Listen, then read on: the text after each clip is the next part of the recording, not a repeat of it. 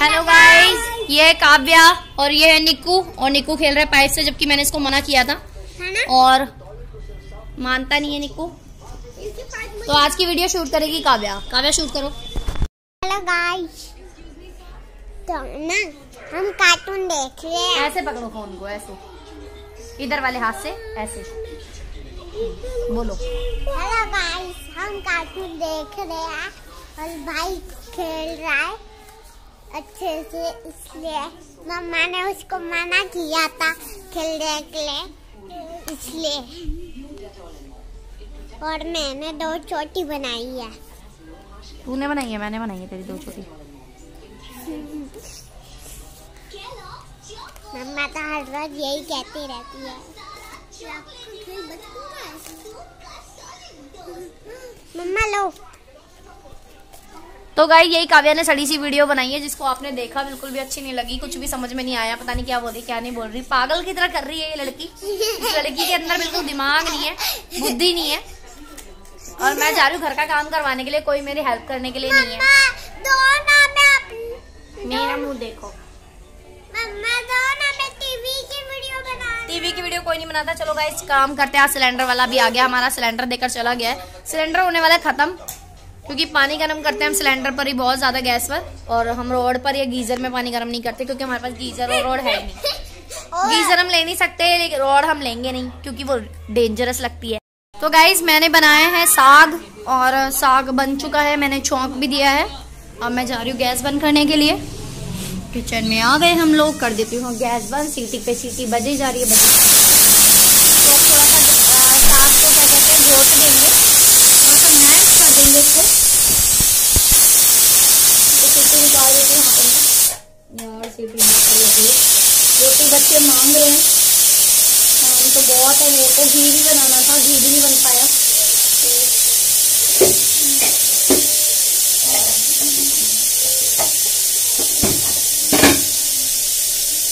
तो मैंने बनाया सरसों और पालक का साग, सरसों एंड पालक का साग। तो देखते हैं साग कैसा बना है, बढ़िया बना होगा।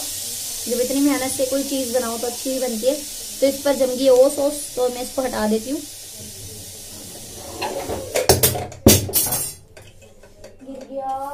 चिमटा, चिमटे को उठा लिया, ऐसे खोल दिया। अब पता क्या साग बन गया ना, सुबह के लिए भी हो जाएगा, सुबह लंच में भी ले जाएँगे। क्योंकि पानी थोड़ा ज़्यादा ही है। इसको थोड़ा सा हिला कर देगा। थोड़ा ग्रेवी वाला साग बन गया है ग्रेवी वाला। जो आटे का आलन लगाते हैं ना, वो वाला साग मैंने बनाया है। और इसमें सरसों और पालक के अलावा और कुछ भी नहीं है, बथुआ वगैरह ये सब नहीं है। मम्मी लाई थी एक्चुअली जो लाई थी वही मैंने बना लिया, लेकिन अच्छा बना होगा। आई नो थोड़ा सा इसको ऐसे घोट देती हूँ मैं। थोड़ा ग्रेवी वाला है। अच्छा लगेगा, इनको पसंद आता है ग्रेवी वाला साग। तो देख लेते हैं, रोटी बना देती हूँ, क्योंकि बच्चों को लगी है भूख, और उनको आने में लगेगा टाइम तो अगर मैं सोच रही थी पहले उनका इंतज़ार कर लेते हैं और जब वो आएँगे तभी मैं बनाऊँगी, लेकिन उनको आने में टाइम लग जाएगा। बच्चे कह रहे, खाना दे दो, क्योंकि बच्चों को फिर नींद आ जाती फिर बच्चों को सो जाना है। तो इसलिए मैं ऐसा करती हूँ ना, रोटी बना ही देती हूँ। बच्चे तो अपना खा ही लेंगे, फिर खा के सो जाएँगे। उनका वेट करते करते तो बहुत ज़्यादा लेट हो जाएगा।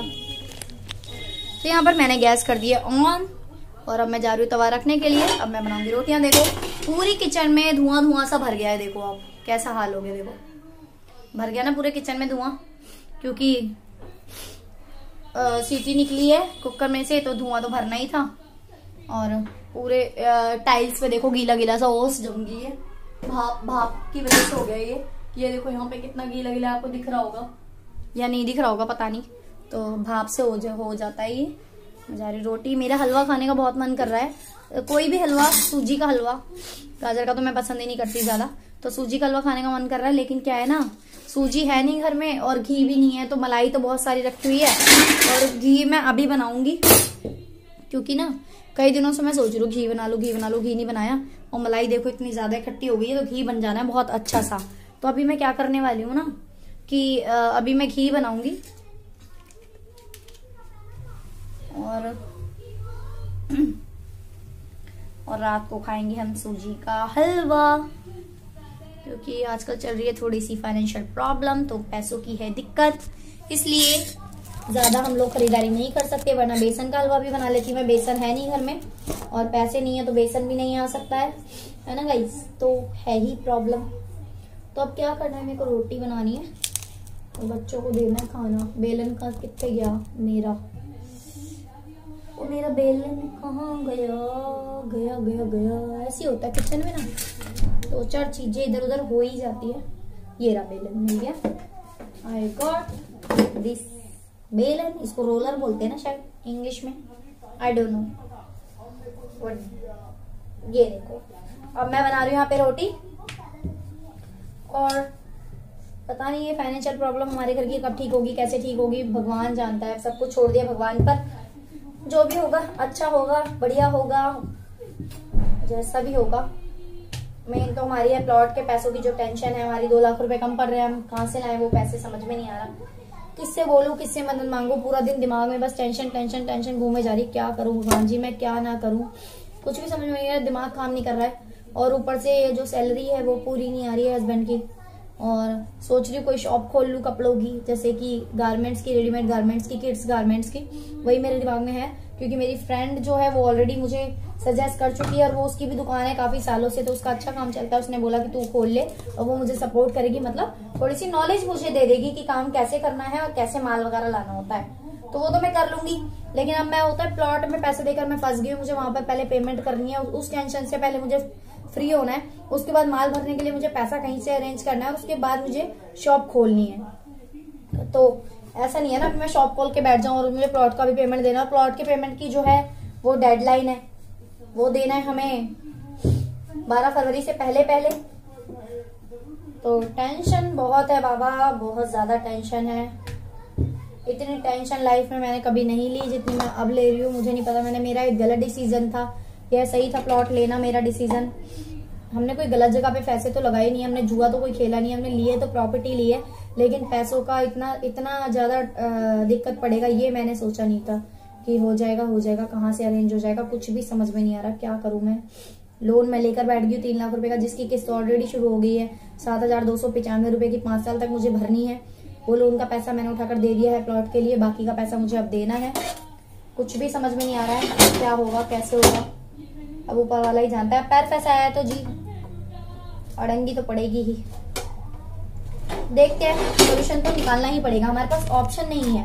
डू एंड डाई वाला ऑप्शन है मतलब करना ही पड़ेगा हमें अरेंजमेंट हम कुछ नहीं कर सकते। हमें पैसा देना ही पड़ेगा, वरना हमारा जो दिया हुआ पैसा है वो बर्बाद हो जाएगा, वो नहीं बर्बाद हो सकता। चाहे मैं मर ही क्यों ना जाऊँ, मुझे अरेंजमेंट करना ही पड़ेगा। तो आप भी कहते हो कि डेली के आपने दोपहरी रास्ता लेकर आ जाती है ये औरत। तो भैया है, और मैं आपको अपना समझती हूँ तो आपसे बात कर लेती हूँ, बस यही बात है। और कुछ नहीं, और किसी को तो मैं अपनी पर्सनल चीज़ें बताती नहीं हूँ। आप हो, आपको अपना समझती हूँ, आप मेरी फैमिली हो। इसलिए शेयर कर लेती हूँ, चाहे कोई देखे, चाहे ना देखे, कभी तो कोई देखेगा, पता चलेगा। शायद आप तब लोग देखो, आप लोग तब देखो जब मेरी सारी प्रॉब्लम सॉल्व हो चुकी होगी। तो ठीक है गाइस वीडियो लंबा हो रहा है, मिलते हैं नेक्स्ट ब्लॉग में। हो सकता है नेक्स्ट ब्लॉग तक मेरी टेंशन खत्म हो जाए, नहीं होगी। कुछ नहीं समझ में आ रहा, मैं क्या बोल रही हूँ, क्या सुन रही हूँ। कुछ नहीं, दिमाग काम कर रहा है इसलिए मेरे जब कहते हैं जब आप टेंशन में होते हैं ना, आपका दिमाग काम करना बंद कर देता है तो वही वाली बात है। तो गाइज़ मिलते हैं नेक्स्ट वीडियो में, तब तक के लिए बाय यहाँ पर मैं बना रही हूँ घी, और ये देखो यमी यमी सा व्हाइट बटर है ना? कितना यमी लग रहा है देखने में। देख लो आप खुद ही। तो इतना अच्छा सा लग रहा है देखने में आपको। बिल्कुल ही यमी एकदम, है ना? ये है भी सच में बहुत यमी तो यहाँ पर बन रहा है घी। और ये थोड़ी देर में मेल्ट हो जाएगा और येलो येलो सा घी इसका ऊपर आ जाएगा। तब हम इसको निकाल लेंगे किसी बर्तन में, फिर उसके बाद मैं डिब्बे में इसको पलट दूँगी और आज मैं बनाऊँगी सूजी का हलवा। मेरा किचन बहुत गंदा हो गया गाइस मुझे किचन की सफ़ाई करनी है। डीप क्लीनिंग की ज़रूरत है, ये स्क्रब नहीं है। स्क्रब मेरा खत्म हो गया तो यहाँ पर स्क्रब इसमें रखा है साग। अभी इसको ढक देती हूँ, मैंने साग बनाया इसमें। अभी तो मैं यही खड़ी हूँ। ढका नहीं है, थोड़ी सी हवा निकल जाएगी उसकी। अब ये देखो मेल्ट होना शुरू हो गया है। व्हाइट बटर जो है बिल्कुल मेल्ट हो गया और इसके बाद इसका घी बनना शुरू हो जाएगा, फिर हम घी को छान लेंगे, निकाल लेंगे। तो मैंने यहाँ, बच्चों को यहाँ पर मैंने दे दिया खाना। बच्चे यहाँ पर खाना खा रहे हैं और देख रहे हैं अपना कार्टून है ना? और इनके पापा भी पहुँचने में टाइम लगेगा। पापा को इनके आने में तो पानी में यहाँ पर रख देती हूँ बच्चों का, ताकि गिर ना जाए। इसलिए कर्टेंस थोड़ा सा खोल खोल देती हूँ कर्टन देखो इन्होंने क्या करा है? महाराज ने हमारे पति देव ने उल्टा पर्दा लगा दिया ये वाला। कल पर्दा गिर गया था, निकल के एक्चुअली वो पाइप जो है प्लास्टिक का है तो वो बच्चे खींच लगाते हैं तो वो खिंच जाता है बच्चों से। खिंच गया था, नीचे गिर गया था, निकाल दिया, फिर पूरे वहाँ पे कॉर्नर में फंस रहा था। तो मैंने बोला, पर्दा लगा देना, अभी देखो उल्टा लगा के चले गए, ध्यान नहीं दिया होगा रात में। और ये इधर से है सीधा, अब फिर अगले संडे को बारी आएगी इसको सीधा करने की, क्योंकि ऊपर मेरा हाथ पहुंचेगा नहीं और मैं कर नहीं पाऊँगी। है ना बच्चों? पापा ही करेंगे ये काम तो। निकू खाना नहीं खाना तेरे को, फिर मैं खिलाऊँगी मार मार के अपने हाथ से। खा लो। देखो, आप इसमें घी बनना शुरू हो गया है। ये घी ऊपर ऊपर आ गया है। इसको मैं छान लूँगी और जो नीचे खोया बन रहा है, वो बेकार हो जाएगा, क्योंकि वो वो वाला खोया नहीं है। जो मिक्सर से निकालते हैं तो वो नीचे व्हाइट बटर का होता है। ये घी जो है, देखो आप कितना बढ़िया इसमें घी बन रहा है। देख सकते हो आप, खुद ही देख लो। कितना अच्छा घी बन रहा है। तो मैंने यहाँ पर ग्लास और छन्नी रेडी रखी है। इसमें मैं छान लूँगी इसको। ये देखो घी।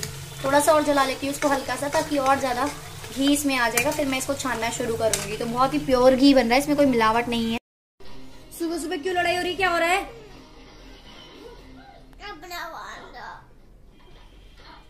ये कौन सा कार्टून देखना चाहती है?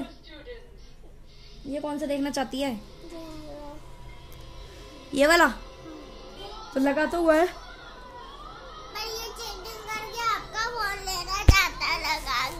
मैं किसी को भी नहीं दे रही अपना फ़ोन मैं किसी को भी फ़ोन नहीं दूँगी। सुबह उठते लड़ाई झगड़ा क्यों चालू हो जाता तुम्हारा? है? फ़ोन नहीं मिलेगा। कार्टून देख लो अपना मिलके। डोरीमोन आ रहा है। डोरीमोन तो मुझे भी पसंद है ना? निकू को भी पसंद है ना? तो गाइस ठंड हो रही है बहुत ज़्यादा। रात को निकू को हो गया फीवर ठंड की वजह से। और अभी देखो साढ़े दस हो रहे हैं और मैं बिस्तर में ही लेटी हुई हूँ। ऑफ़िस चले गए निक्कू के पापा, लेकिन मैं बिस्तर में ही हूँ। और बच्चों के साथ बैठी हुई हूँ निक्कू को हो रहा है बुखार। तो इसको दवाई दे दी है, अभी फीवर तो फिर से चढ़ने वाला है, इसको गरम गरम सा हो रहा है। और दवाई दी थी, हो गए हैं पाँच छः घंटे। अब इसको फिर से देनी पड़ेगी दवाई। फीवर हो गया उसको, क्योंकि बालकनी में जाकर बैठता है। जब हवा आती है बालकनी में, वहीं बैठता है जाकर ये। तो इसीलिए इसको ठंड लग गई है। तो अब इसको बैल्कनी में नहीं जाने देना। कर्टन्स मैंने सारे लगा दिए, बिल्कुल नहीं खोलूँगी, आज घर बंद रहेगा। ये वाला डोर भी नहीं ओपन करूँगी, हवा नहीं आएगी बिल्कुल भी। और उसको मैंने बोला कैप लगा के रजाई में बैठना है, बाहर निकलना नहीं है। तो चलते हैं, अब कर लेते हैं घर का काम। दस मिनट रेस्ट करके करती हूँ मैं घर का काम स्टार्ट घर का काम तो करना ही है। और देखो, आटे के हाथ पर ये भी ठीक से धोए ही नहीं है मैंने। बच्चों को नाश्ता कराने में लग गई थी मैं।